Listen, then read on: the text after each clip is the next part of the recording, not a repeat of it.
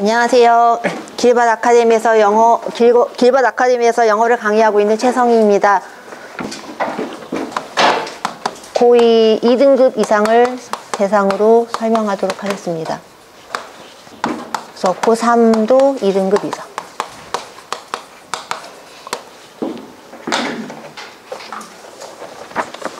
그래서 여기 보시면 as a counselor 좀 음, 상담자로서 I often use the North Star as a metaphor. 그래서 북극성을 하나의 비유로 사용을 한다는데요. 그래서 I tell clients 고객들이 오면 자 you are in a boat. 너는 보트에 있는 거야. 그런데 어떤 어떤 보트냐면 um, tossed around by the winds of the world. 그래서 세상의 풍파에 자 어, 던져진 한 보트에 있는 거야. 이렇게 얘기를 한다고 하네요. 그래서 음, 그리고 그 뒤에 내용을 쭉 보시면은 어, 그렇지만 주변에 있는 친구나 또는 뭐 교사나 뭐 다른 부모님이나 미디어에 의해서 동쪽 서쪽 그다음에 다시 백앤포스 이렇게 돼 있어서 왔다 갔다 할 수 있지만 원이 본인이 원하는 자리에 꼭 있기 위해서는 must follow your own north star. 너만의 북극성을 따라가는 게 좋겠어. 이렇게 충고한다고 얘기를 해요. 자 그래서 그리고 음, only by orienting north. 북쪽만을 바라보면서 자신만의 북극성 즉 꿈을 따라간 가는 것만이 당신이 그저 바다 위에서 그냥 둥둥 떠다니는 것으로부터 막을 수 있다는 얘기를 해주고 있고요. 그래서 그런 얘기 쭉 따라가시면 여기 끝에 마지막에 뭐 진정한 자유라고 한다라는 것은 그냥 왔다가 어, 어떤 하루의 바람에 의해서 왔다 갔다 하는 게 아니고 그것은 일종의 환상일 뿐이며 어, 진정한 자유란 당신의 꿈을 향해서 한 걸음 한 걸음 항해하는 거다 이렇게 돼 있어서 앞에 나와 있던 놀스타라는 것을 다른 말로 얘기하면 your dream 당신의 꿈이라고 보실 수 있을 것 같습니다.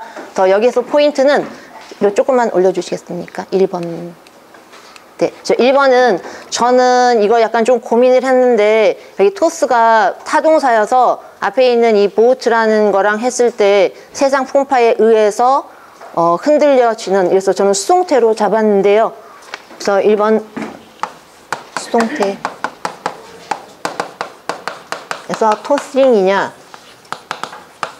그 다음에 토스냐 그래서 이렇게 구별하시면 될 것 같고요. 그 다음에 두 번째 거는 뭐 수능에서 자주 수능 특강에서 자주 보고 있는 이 부분인데 자 보통 평서문에서는 주어라 한다면 명사가 맨 앞에 나와줘야 되는데 여기 지금 오은이로 시작되고 있으니까 이제 의심이 좀 가겠죠. 야 이거 좀 뭔가 이상한데 그래서 여기 only by orienting north 이 부사구 다음에는 자, 그 주어가 아닌 게 먼저 나왔으니까 이게 주어 동사가 뒤집어지는 도치구문이라고 볼 수 있겠습니다. 그래서 두 번째 포인트는 도치로 잡았고요. 그 다음에 두 번째 질문 보시겠습니다.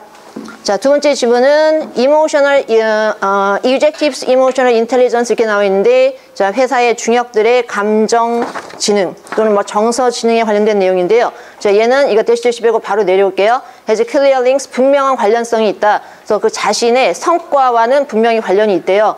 네, 예를 들어서 emotional intelligence를 잘 모를까봐 좀 뒤에 부연 설명을 해놨는데 self awareness 자신을 어떻게 인지하는지 empathy 공감 능력 rapport with others 다른 사람과의 관계 이런 것들을 감성 지능이라고 지능이라고 규정한다면 자 이것은 자신의 성과나 업적과 크게 관련이 있다. 이 얘기를 하려고 이 질문을 한 게 아니고요. but 그런데 새로운 연구가 자 어떤 결과를 보여주고 있냐면 자 리더의 어떤 감성 상태는 모든 사람의 분위기와 행동에도 자 드라이브 운전해 가다라는 표현인데 뭐 어떻게 옮길까 하다가 몰아간다 만들어 간다 이렇게 저는 좀 봤는데 다른 사람의 어, 분위기하고 감성, 어, 행동에도 영향을 준다고 나와 있습니다. 뭐그 뒤에 보시면 자 우울하고 저 무자비한 그 보스 같은 경우는 굉장히 그 음, 독성이 가득한 조직체로서 자, negative underachiever 이렇게 돼 있어서요. 부정적으로 자신의 능력을 발휘하지 못하는 사람들을 데리고 있는 반면에 다음에 보시면은 inspirational leader는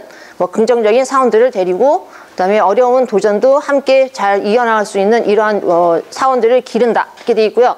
그다음에 여기 마지막에 보시면 자 그러면 어, 어떤 감성 리더십이라는 건 도대체 뭐냐? 그래서 여기 부분에서 보시면 put on a, 음, put on a game face에서 자, game face가 뭐 당당한 표정, 그거를 날마다 짓는 것을 의미하는 게 아니고 다른 사람에 대한 자신의 영향력을 잘 이용, 어, 이해하고 있고 그것에 따라서 자신의 스타일을 자, 조정할 수 있는 것이 진정한 emotional leadership이다. 뭐 이런 내용을 담고 있습니다. 그래서 3번 내용을 보시면 자, 3번에서 여기 보면 자, 앞에 여기 그 drives everyone's 그다음에 moods and behavior에서요. 여기 명사 앞쪽에 명사를 꾸며주는 뭔가가 나와줘야 되는데 지금 그게 나와 있지 않아서 3번은 소유격 을 얘기하시는 것 같은 생각을 트- 했고요. 그다음에 네 번째는 여기 지금 it이 앞에 뭐 뒤에 투부정사로 나와 있는 것도 아니고 아무리 봐도 여기 it는 빠져주는 게 좋을 것 같아서 4번은 대명사로 포인트를 잡았습니다.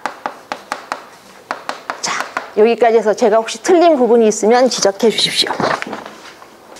자, 그래서 첫 번째 문장에서 보시면 앞에 대시 관계대명사 주격이고 선행명사가 보호트인데요. 자, 이 보호트는 뭔가를 던지는 동작을 하는 게 아니고 자, 세상 풍파에서 던져지고 움직여지고 뭐 이런 의미로 해석이 되니까 앞에 있는 선행명사가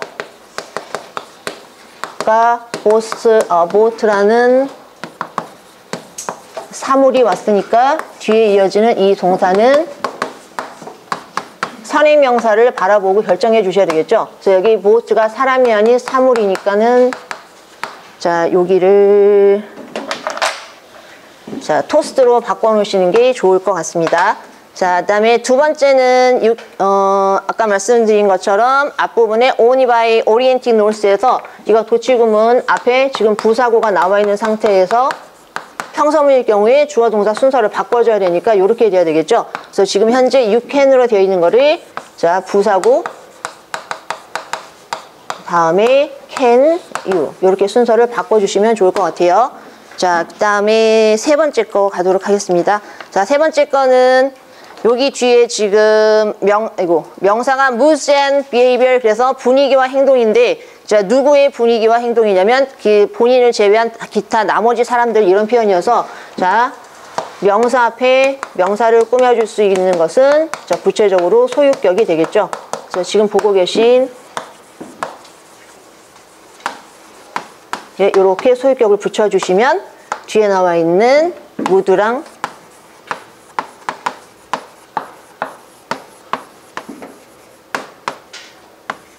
이거를 뒤에 있는 명사 두 개에 동시에 이렇게 수식해 주는 게 되겠습니다. 자, 그 다음에 네 번째 거는 자, 여기 있는 이치 아무런 의미가 없어서 자, 이모 정서적 리더십이란 isn't 단지 자, putting on a game face 보시면 당당한 표정만을 짓는 것이 아니다. 그래서 동명사 뒤에 이어지는 보어들이긴 한데 자, 네 번째 풀- 불필요한 it 제거하겠습니다.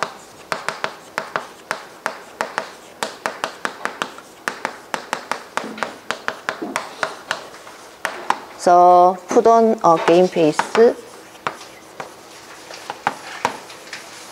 이렇게 하시면 될 것 같고요. 자, 빈도는 빈도는 요거 수동태는 항상 시험 문제 아니 출제가 되니까 4.5. 그다음에 난이도로 치면은 그렇게 어렵진 않았었던 것 같아요. 그래서 3분의 5 정도 하고요. 그다음에 도치구문은 역시 빈도는 4.5.